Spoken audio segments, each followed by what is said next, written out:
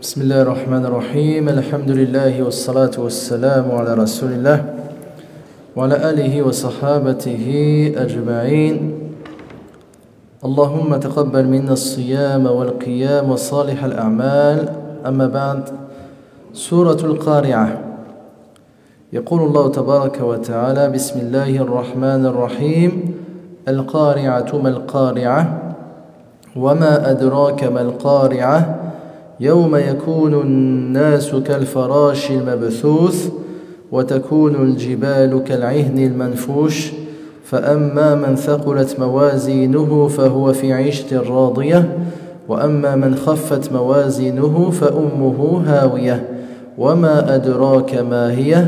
نار Allah subhanahu wa ta'ala nous dit Bismillah ar-Rahman ar-Rahim Le fracas, qu'est-ce que le fracas et qui te dira ce qu'est le fracas? C'est le jour où les gens seront comme des papillons éparpillés et les montagnes comme de la laine cardée. Quant à ceux dont la balance sera lourde, il sera dans une vie agréable, et quant à celui dont la balance sera légère, sa mère, c'est-à-dire sa destination, est un abîme très profond, et qui te dira ce que c'est? C'est un feu ardent. Al-Qari'a, donc c'est un nom parmi les noms de Yawm al-Qiyamah.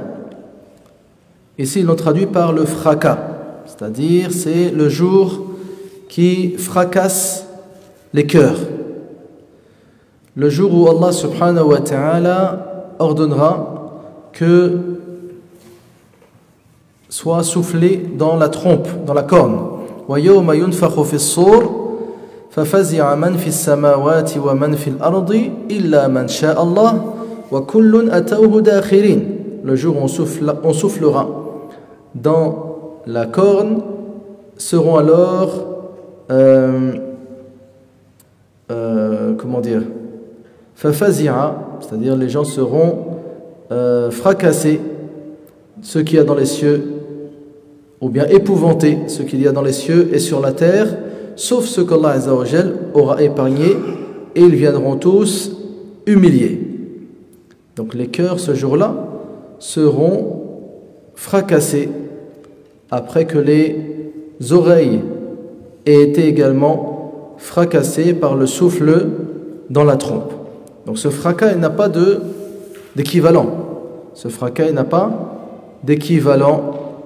Même le, pire des fracas qu'on pourrait s'imaginer ce jour-là est, beaucoup pire. Donc Al-Qari'a, c'est un nom parmi les noms du jour dernier.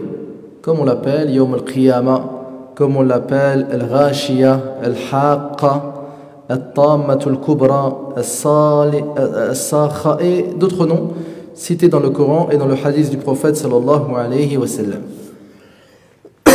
Donc le fracas, Al-Qari'a, Mal-Qari'a. Donc Allah Azza wa nous dit il nous pose une question, justement pour nous montrer la gravité et l'importance de, ce jour. Et il, il, rajoute encore une question Donc pour augmenter la crainte dans nos cœurs de ce jour. Il nous dit. Qui pourra te dire qu'est-ce que le, le fracas Donc, que sais-tu, ya Mohammed, sur ce jour, euh, sa, sa difficulté, sa dureté Et ensuite, Allah Azzawajal va nous citer des détails de ce jour-là. Il nous dit يَوْمَ يَكُونُ النَّاسُ كَالْفَرَاشِ الْمَبْثُوث donc le jour de, ce fracas, le jour du jour dernier, les gens seront comme des papillons éparpillés.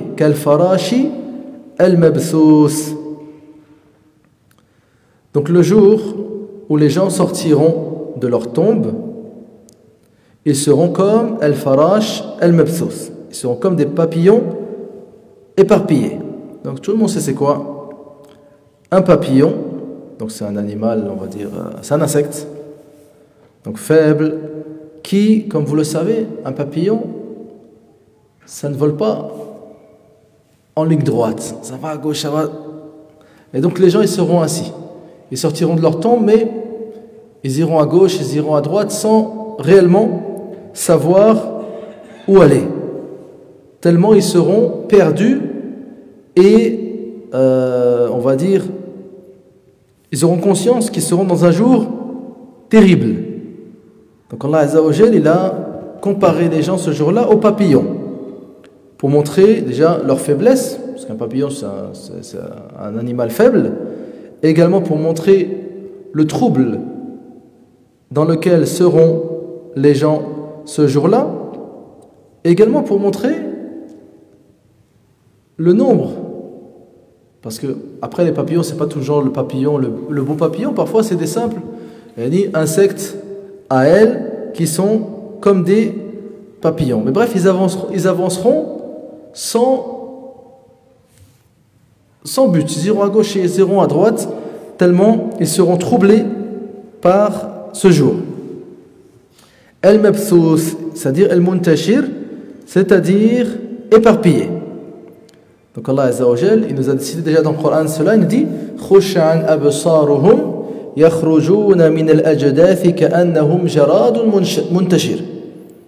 Donc il nous dit que ce jour-là, les gens ils auront leurs yeux humiliés et ils sortiront des tombes comme des sauterelles éparpillées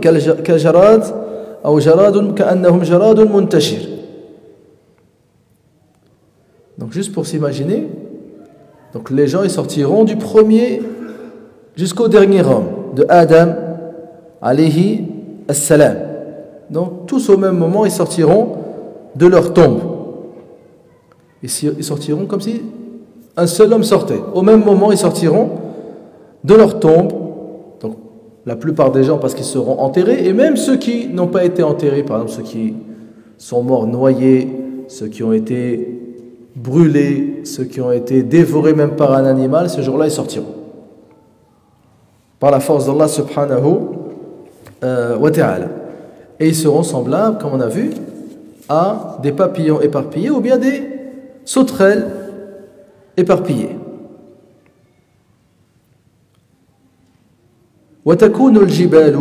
donc une autre description c'est-à-dire les, montagnes et les montagnes seront comme de la laine cardée donc ces montagnes que l'on voit dans cette vie qui sont immenses, qui sont solides, qui sont dures.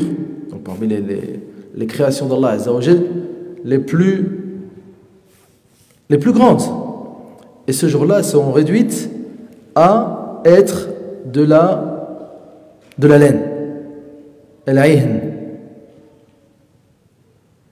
El-Manfouch et El euh, manfouch, c'est-à-dire cardé. Comme si on avait pris de la laine et on l'avait on l'avait euh, effilé avec, avec nos mains. Donc déjà la laine c'est pas une chose on va dire solide, mais si en plus de cela tu l'effiles avec tes doigts, c'est encore plus faible. Donc tout ça pour nous montrer que Yawm al-Qiyamah, euh, les choses seront totalement bouleversées. Donc les choses que l'on considère comme fortes ici-bas seront très fragiles.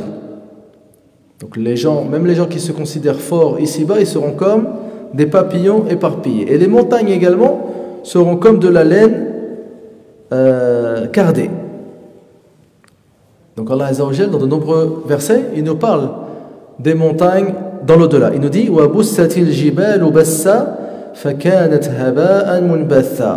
Donc les montagnes seront pulvérisées et seront comme de, euh, de la poussière.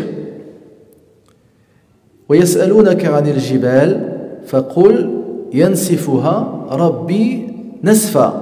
قاعا صفصفا et il t'interroge au sujet des montagnes, dit Mon Seigneur va les pulvériser et il va laisser donc les endroits où il y a les montagnes comme un endroit plat.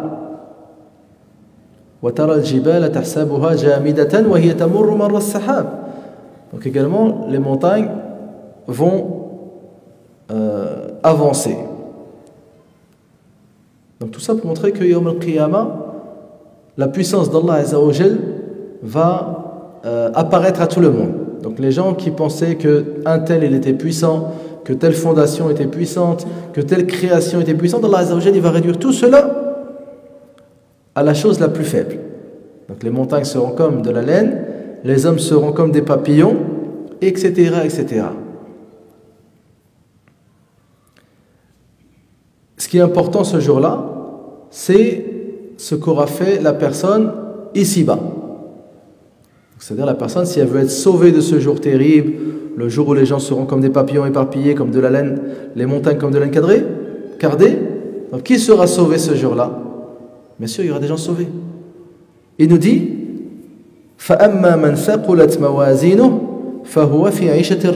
celui dont la balance sera lourde. Donc, Yom al-Qiyamah, Allah il va poser la balance. On va poser la balance de, de, de l'égalité et aucune âme ne sera lésée. Donc tout ce que tout ce qu'on a fait est enregistré. Et donc ensuite il y aura une balance, il y aura un plateau pour les bonnes actions, un plateau pour les mauvaises. Donc celui dont la balance sera lourde, c'est celui qui aura plus de bonnes actions que de mauvaises. Il sera dans une vie agréable. Donc les bonnes actions, comme vous le savez, sont multipliées par 10. Et une bonne action, elle est comptée comme une seule. Donc celui, alhamdulillah, Allah il a fait que euh, une bonne action équivaut, on va dire, dans la balance à 10 péchés. Donc imaginez celui qui viendra Yawm al-Qiyamah avec plus de péchés, il aura réellement euh, exagéré. Il aura réellement exagéré. En tout cas, celui dont la balance sera lourde, il sera dans une vie agréable. Donc, dans tout ce que l'on peut comprendre du mot agréable. Donc il n'y aura pas de faim, pas de soif, pas de... de... Allah Azzawajal, il aura purifié les cœurs des habitants euh, du paradis. Il n'y aura pas d'animosité entre les gens. Dans, au paradis, il y a ma tashtahi l'anfus. Tout ce que les âmes désirent, ils le trouveront au paradis. Alhamdulillah. Au paradis.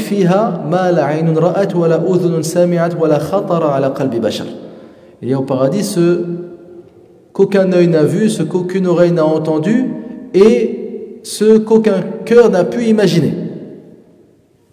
Donc ils sont dans une vie agréable de tous les angles que l'on peut imaginer. Également, les habitants du paradis diront وَقَالُوا الْحَمْدُ لِلَّهِ الَّذِي أَذْهَبَ عَنَّا الْحَزَنَ إِنَّ رَبَّنَا لَغَفُورٌ شَكُورٌ الذي أحلنا دار المقامة من فضله لا يمسها لا يمسنا فيها نصب ولا يمسنا فيها لغوب ils diront louange à Allah qui a, fait, qui, qui a fait disparaître de nous la tristesse donc il n'y aura pas de tristesse au paradis notre Seigneur est le miséricordieux et le reconnaissant celui qui nous a fait entrer dans une demeure de résidence par sa grâce dans laquelle on ne sera ni touché par la fatigue, donc il n'y a plus de fatigue, et ni de euh, nasabun wala Les mots ils sont proches. Nasab et l'Europe c'est la même chose. Donc les choses dans lesquelles on souffre, fit dunya, ne seront plus présentes dans l'au-delà. جزاؤهم عند ربهم جنات عدن تجري من تحتها الأنهار خالدين فيها أبدا on verra dans Surat al-Bayyina. Donc Allah Azza il fera rentrer les habitants du paradis dans des, dans des jardins sous lesquels coulent des ruisseaux pour y demeurer éternellement. Donc Allah Azza les agréera et ils l'agréeront. Et c'est ce, cette, euh, récompense est pour ceux qui ont craint leur Seigneur. Donc il faut faire en sorte d'avoir une balance lourde dans l'au-delà. En faisant les bonnes actions, alhamdulillah, sont multiples. Les bonnes actions sont multiples. Tu peux adorer Allah Azzawajal par la parole, par les actes, par le cœur. Elles sont multiples. Tu peux être bon avec toi-même, avec tes parents, avec les autres. Alhamdulillah, les portes du paradis sont nombreuses. Donc tout ce qui, est nous est demandé ici-bas, c'est de vrai.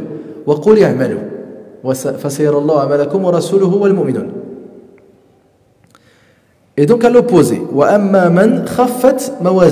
ceux dont, ceux dont la balance sera légère. C'est-à-dire il aura plus de mauvaises actions que de bonnes. Ou bien il n'aura pas de bonnes actions du tout. Donc le non-croyant, n'aura pas de bonnes actions du tout. Pourquoi? Parce que même ce qu'il a pu faire, ça n'a pas été fait sincèrement. Il n'a pas fait cela pour Allah subhanahu wa ta'ala. comme l'a dit le prophète sallallahu alayhi wa sallam. Donc le croyant qui aura plus de mauvaises actions que de bonnes. Et comme on a vu, cette personne-là, il aura réellement transgressé du fait que une bonne action est multipliée par 10 alors qu'une mauvaise action est inscrite comme une, une seule mauvaise action. Et donc, et d'autres viendront Yom al sans bonnes actions. Ils n'auront que des mauvaises. Pourquoi? Parce qu'ils auront reçu leur récompense fit dunya.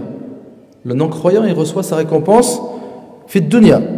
Même les bonnes actions qu'il a fait, Allah par exemple, il lui donne la santé, il lui donne la richesse, il lui donne des enfants. Donc, il n'aura plus de bonnes actions dans, dans l'au-delà. Euh, le prophète sallallahu alayhi wa sallam nous dit Inna Allah لا يظلم مؤمنا حسنة يعطى بها في الدنيا ويجزى بها في الآخرة. وأما الكافر فيطعم بحسنات ما عمل بها لله في الدنيا حتى إذا أفضى إلى الآخرة لم تكن له حسنة يجزى بها. Donc le prophète sallallahu alayhi wa sallam nous dit que Allah wa Jal ne retirera pas à un croyant une bonne action qu'il a accomplie.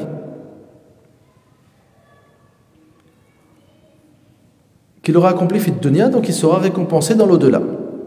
Il nous dit le non-croyant, lui, tout ce qu'il a pu faire fit dunya, il reçoit la, récompense fit dunya. Une bonne action qu'il a fait, Allah lui donne, comme on a vu, des richesses, de la nourriture, la santé, tout ça. Et lorsqu'il arrivera dans l'au-delà, il n'aura plus de bonne action. Et donc cette personne-là, le premier il aura une vie agréable, le second, fa hawiya. c'est-à-dire sa destination. est un abîme très profond. Hawiya. Donc parmi les noms de l'enfer, nous avons des noms du paradis, des noms de l'enfer, des noms du jour dernier. Parmi les noms de l'enfer, El Hawiya. Donc certains savants, ils ont dit, El Umm ici, la mère, sa mère, ce sera un abîme profond, c'est sa destination. D'autres, ils ont dit, Ummuhu, yani Ummu Dimar. Ummu Dimar, c'est-à-dire, il sera jeté sur sa tête dans l'au-delà. Et donc il n'y a pas de contradiction entre les deux, les deux avis. Sa destination sera le feu et en plus de cela il sera jeté la tête la première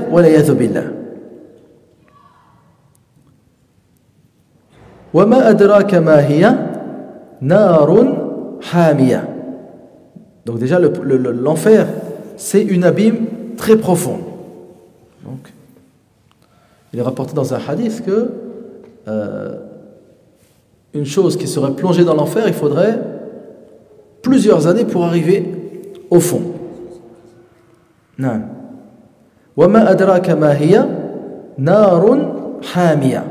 Donc qui te dira ce que c'est? C'est un feu ardent.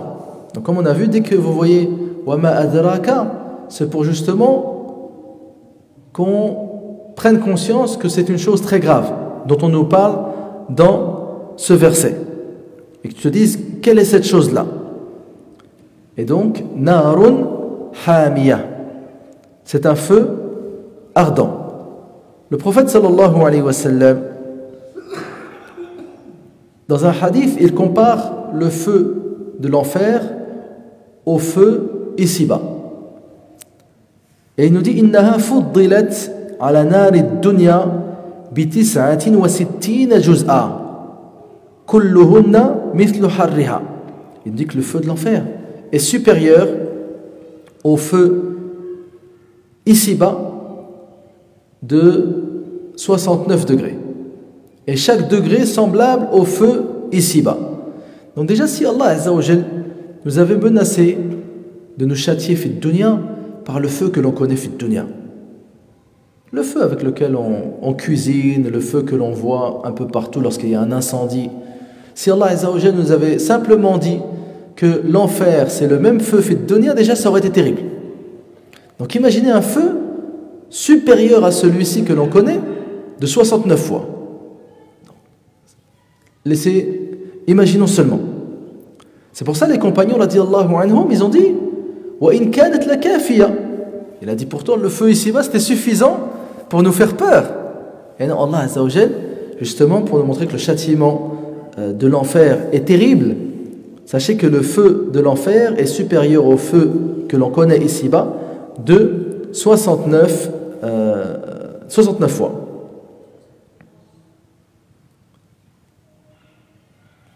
Donc, lorsqu'on observe euh, le feu ici-bas, vous voyez, ça brûle, le, le, le, bois, ça brûle les feuilles, ça brûle les gens.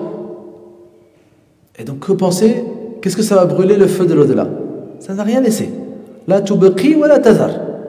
Il ne laisse rien, il n'y a rien qui peut, on va dire, supporter euh, la chaleur du feu de l'enfer. wa donc dans cette sourate, on voit que le croyant doit faire tout son possible pour se préserver du châtiment d'Allah subhanahu wa ta'ala. Et donc, alhamdulillah, se préserver du châtiment d'Allah, tout le monde sait comment il doit s'y prendre, c'est en accomplissant les bonnes choses, les bonnes actions. Même une action simple. Rien n'est oublié auprès d'Allah subhanahu on a cité un hadith il y a quelques jours. Le prophète sallallahu alayhi wa sallam dit Bien c'est dans un autre cours sayukallimuhu rabbuhu laysa baynahu wa baynahu turjuman. Chacun d'entre nous, yawm al-qiyamah, Allah azza wa va s'adresser à lui sans interprète, quelle que soit ta langue. Il n'y aura pas de traducteur. Laysa baynahu wa baynahu turjuman. فينظر أيمن من فلا يرى إلا ما قدم وينظر أشأم من فلا يرى إلا ما قدم donc il regardera à droite il verra ses actions il verra à gauche, il verra ses actions, il regardera devant lui et il verra l'enfer. Du fait qu'ensuite, chacun va passer au-dessus de l'enfer par au-dessus du pont. Donc celui qui passera le pont, il rentrera au paradis. Devant lui, il verra Et le prophète, il dit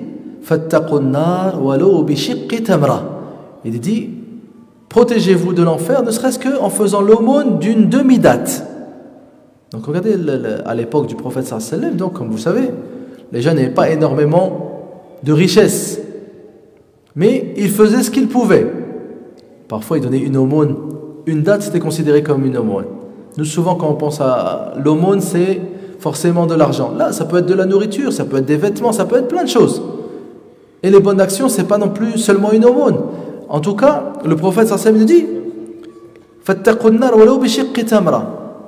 Si tu donnes la moitié d'une date en aumône, c'est une cause qui te permet d'être préservé de l'enfer. Donc, toute chose qui sera supérieure à cet acte, ça te préserve encore plus de, de l'enfer. Donc, dans cette sourate, on nous parle de ceux qui auront la balance lourde. C'est ceux qui auront fait plus de bonnes actions que de mauvaises. Ceux qui ont une, balance légère, ceux qui auront plus de mauvaises actions que de bonnes. Et cette sourate ne nous parle pas de ceux qui auront le même poids de bonnes actions que de mauvaises. Euh, ils sont cités dans une autre sourate on les appelle Ashab al-A'raf. Ashab al-A'raf, justement, c'est ceux qui seront bloqués dans un endroit que l'on appelle al-A'raf. ils auront autant de bonnes actions que de mauvaises. Ils auront autant de bonnes actions que de mauvaises. Ils seront entre les habitants du paradis et les habitants de l'enfer, mais Allah Azzawajal, au final, leur permettra de rentrer au paradis. Pour ça, donc, justement, il, ne faut rien négliger. Il ne faut rien euh, négliger. Peut-être une bonne action. Il faut savoir que déjà, ils auront le même niveau de hasanat que de sayyat. Et donc, ils ne rentreront pas directement au paradis et ils ne rentreront pas directement en enfer. Ils seront entre les deux. Et donc, eux, ils aimeraient bien avoir ne serait-ce qu'une seule hasana qui les ferait entrer au paradis directement. Et non, ils seront bloqués. Pour au final, alhamdulillah, entrer au paradis. وَإِذَا صُلِفَتْ أَبْصَارُهُمْ تِلْقَاءَ أَصْحَابِ النَّارِ قَالُوا رَبَّنَا لَا تَجْعَلْنَا مَعَ الْقَوْمِ الظَّالِمِينَ L'ayat jusqu'à ce qu'Allah Azza wa les fasse rentrer euh, au paradis. Également dans cette sourate, on voit euh, justement que Allah veut nous mettre en garde contre son châtiment. Donc justement, lorsque tu entends parler du châtiment d'Allah Azza wa c'est censé augmenter la crainte dans, ton cœur. Et si la crainte augmente, tu t'éloignes alors euh, des péchés. Dans un autre verset, Allah Azza wa dit que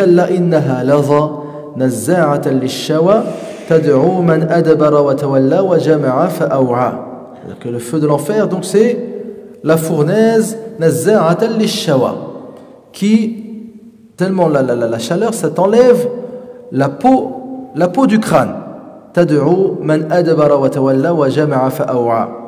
Donc ceux qui se seront détournés fit ils seront alors appelés par l'enfer. Et ceux également qui auront amassé et thésaurisé euh, les richesses Dans un autre verset, Allah Azza dit Ya ayyuhallazina amanu qu anfusakum wa ahlikum naran wa quduha donc le combustible, donc vous savez que le feu, si on ne l'alimente pas, ben, il s'éteint. D'accord? Et le combustible de, du feu de l'enfer, ce seront les pierres et les gens. Donc les gens qui seront brûlés, eux-mêmes seront cause, on va dire, d'augmentation euh, de ce feu.